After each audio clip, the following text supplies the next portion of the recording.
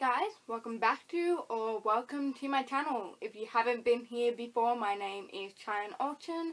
And if you have, thank you so much for watching my videos and supporting me. You have no idea how much it means to me.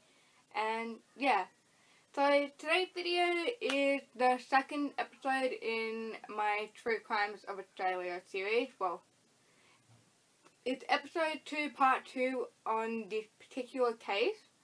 And if you saw the last video I did in True Crimes of Australia, you will know that we are covering Ivan Milat. And which is clearly called True Crimes of Australia, so I'm aiming more for Australian true crime content. Because you don't hear a lot about it and you don't hear about a lot of Australian stuff. You hear more about America and England and all that, but never really here.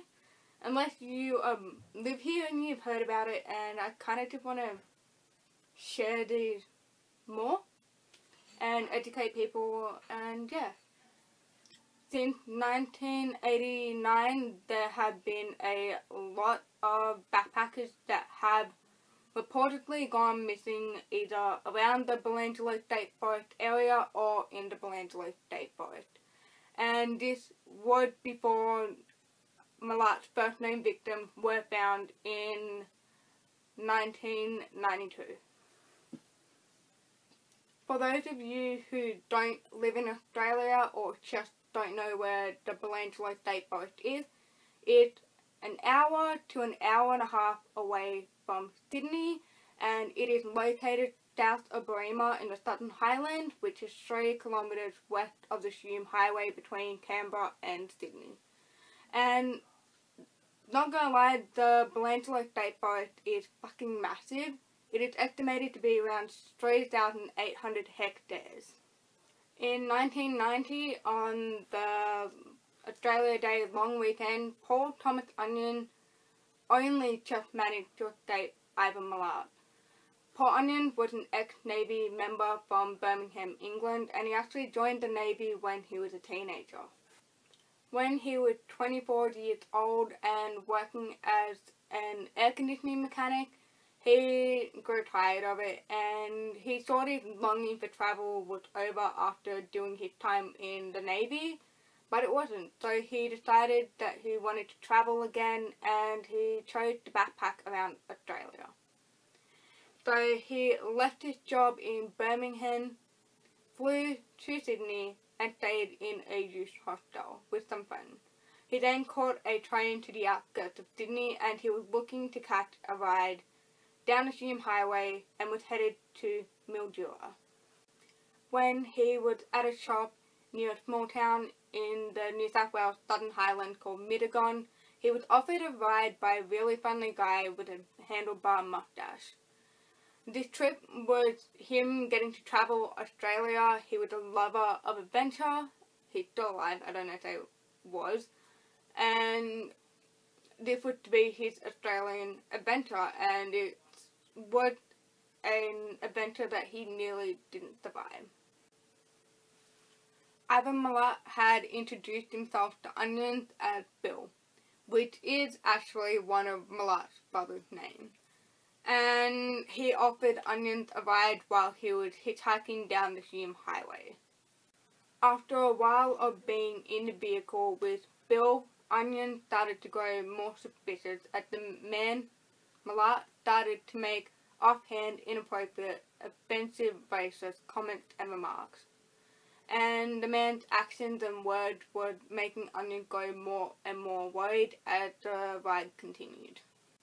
Ivan Milat pulled over once, claiming that the radio was starting to or was about to play up, and he was getting cassettes from under the driver's seat. And Onion decided to step out of the vehicle for a moment and stretch his legs, and Bill would ask him why he got out of the vehicle.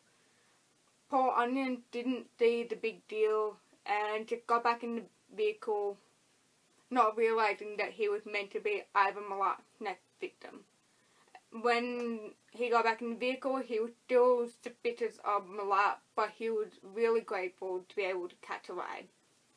when they both got back into the vehicle and were starting to get ready to start driving again, Milat then got out of his vehicle again, saying that he was again looking for the cassettes.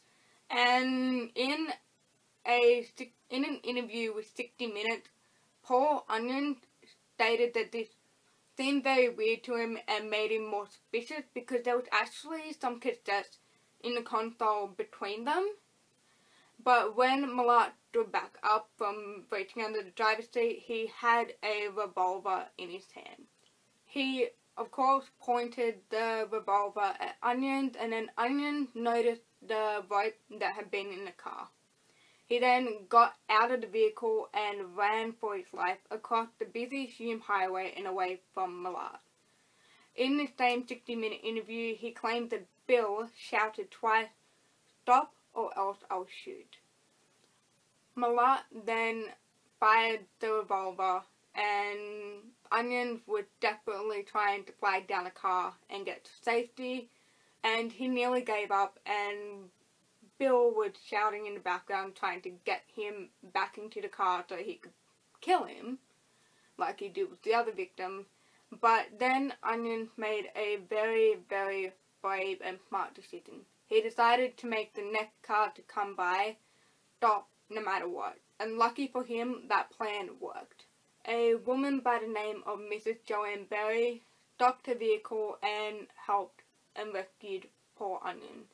She was driving the vehicle with her sister and their five children, and they were making the journey down to Canberra at the time. He dived into the car and they made the journey to the nearest police station. And Joanne claimed in the 60 Minutes interview that Paul Onion jumped in a vehicle and was just shouting, help me, he got a gun. And she also stated that he was a very lucky man to have gotten away from Milat and to have not joined the others in the Belanglo State Forest. Paul Onion looked out of the vehicle one last time at Ivan Milat while the vehicle was retreating as quickly as possible and stated that Ivan Milat seemed to be smirking. Paul Onions and Joanne Berry did go to the Bowral police station and they told the policewoman on duty what had taken place. And Joanne Berry, who's such an amazing, such a lovely, kind person, you can see the kind of person she is in this 60 minute interview, which I will have linked down below. Um, she just seems like such a kind spirit, and not a lot of people would have stopped for Paul. But she actually decided to go into the police station with him because of how distressed he was. I mean, who wouldn't be? He had a gun fired at him, pointed at him. And so she went in with him, but in their panic, no one got a license plate number.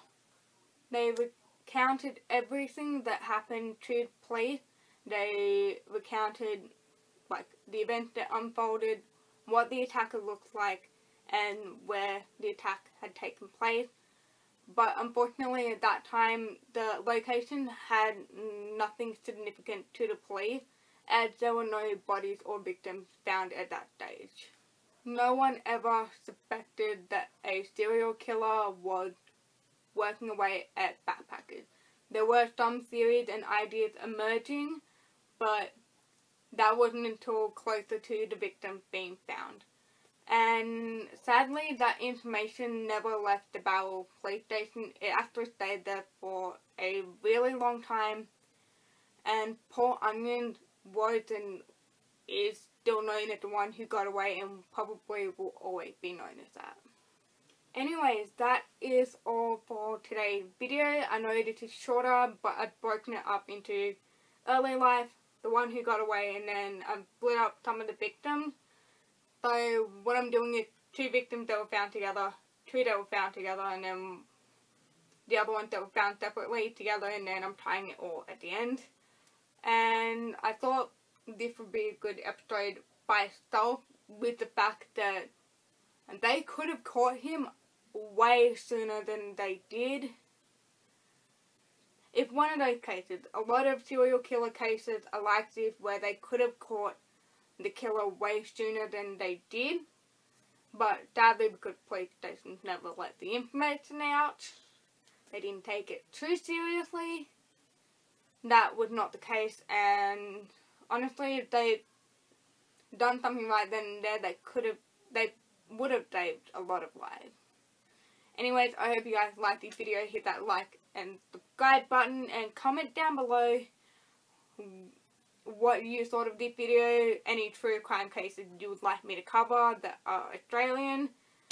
And yeah, I love you guys and I'll see you in the next one. Bye. And one last thing before you go, don't forget to check these books out. I'm using these to help me research this case. Milat, the Inside Australia's Biggest Manhunt by Clive Small, who was the leading detective on the case, and Tom Gilling, and Sins of the Brother, the definitive story the, of the backpacker murders and the inspiration for catching Milat. Mark Whittaker and Les Kennedy. These are amazing books. They're thick boys like me. But yeah, please check them out. Um, you can get these in a bundle, I think, for like 40 $41, which is what I did. And yeah, I'll, again, for real this time, I love you. I'll see you in the next one. Bye.